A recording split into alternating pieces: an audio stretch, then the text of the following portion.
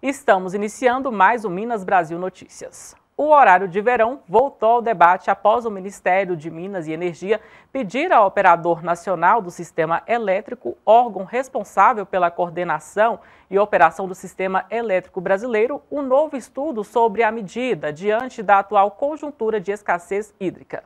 A notícia sobre o novo estudo gerou especulações sobre uma possível volta do horário especial. Mas o ministro Bento Albuquerque reafirmou que a avaliação da pasta é de que, abre aspas, não há necessidade do retorno do horário de verão em 2021. Abre aspas, contribuição do horário de verão é limitada, tendo em vista que nos últimos anos houve mudanças no hábito de consumo de energia da população, deslocando o maior consumo diário de energia para o período diurno, disse Albuquerque em nota à Folha de São Paulo.